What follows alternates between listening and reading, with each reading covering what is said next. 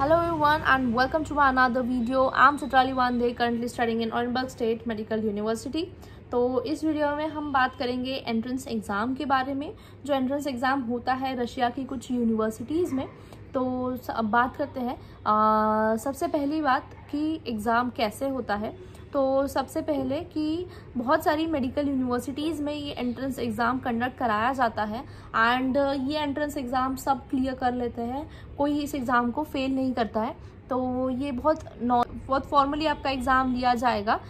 Subjects होते हैं आपके, कुछ यूनिवर्सिटीज़ में इसमें सब्जेक्ट्स होंगे केमिस्ट्री बायोलॉजी इंग्लिश एंड कुछ यूनिवर्सिटीज़ में होगा बायोलॉजी और इंग्लिश अब वो अलग अलग यूनिवर्सिटी में वैरी करता है। तो ऐसा होता था कि कोविड के पहले ये ये जो एंट्रेंस एग्ज़ाम है, ये ऑफलाइन होता था। बट कोविड के बाद अभी जो ये एग्ज़ाम हो रहा है कुछ कुछ यूनिवर्सिटीज़ में ऑनलाइन फॉर्म में कंडक्ट कराया जाता है।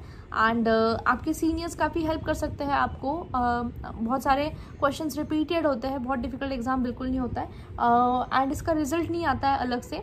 मतलब ऐसा होता है कि हर कोई एग्ज़ाम पास हो ही जाता है तो पास फेल हो के फॉर्मेट में होता है। एंड मोस्टली सारे बच्चे पास करते हैं। आज तक मैंने ऐसा कोई नहीं देखा कि जिसने ये एंट्रेंस एग्ज़ाम मेरे चार साल के दौरान किसी ने फेल किया हो ऐसा नहीं होता है। तो बट ऐसा नहीं कह सकते। आ, कुछ यूनिवर्सिटीज़ हैं जो इस एग्ज़ाम को थोड़ा सीरियसली कंडक्ट कराती है जिसमें है कजान फेडरल क्या है कि यूनिवर्सिटी में सीट्स कम है 80 सीट्स ही है इंटरनेशनल स्टूडेंट्स के लिए। उस वजह से ये वो लोग थोड़ा एग्ज़ाम स्ट्रिक्टली कंडक्ट कराते हैं जिसमें आपका मतलब स्कोर अच्छा आना बहुत इंपॉर्टेंट होता है जिसके बाद आपका एडमिशन उस यूनिवर्सिटी में कन्फर्म हो जाएगा।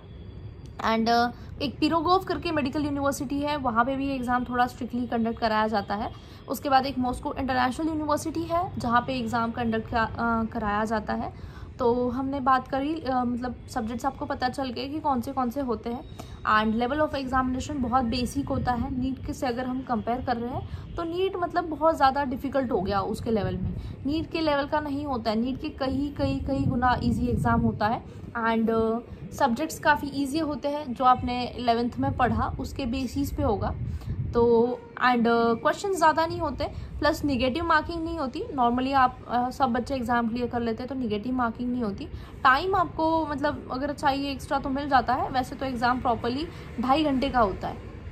सो आई थिंक आपको ये वीडियो हेल्पफुल रहा। That's it thank you and thank you for watching बाकी अगर आपको यूनिवर्सिटी से रिलेटेड कोई डाउट्स है या कुछ चीज़ें हैं जो आपको समझ नहीं आ रही या आपको यूनिवर्सिटी चूज़ करने में डिफ़िकल्टी हो रही है तो आप मुझसे डायरेक्टली कॉन्टैक्ट कर सकते हैं। मैंने अपना नंबर एंड इंस्टाग्राम अकाउंट का लिंक डिस्क्रिप्शन में डाल दिया है। सो so, एंड आपको ये वीडियो अगर वर्थफुल लगा तो सब्सक्राइब कर दो यार। Thank you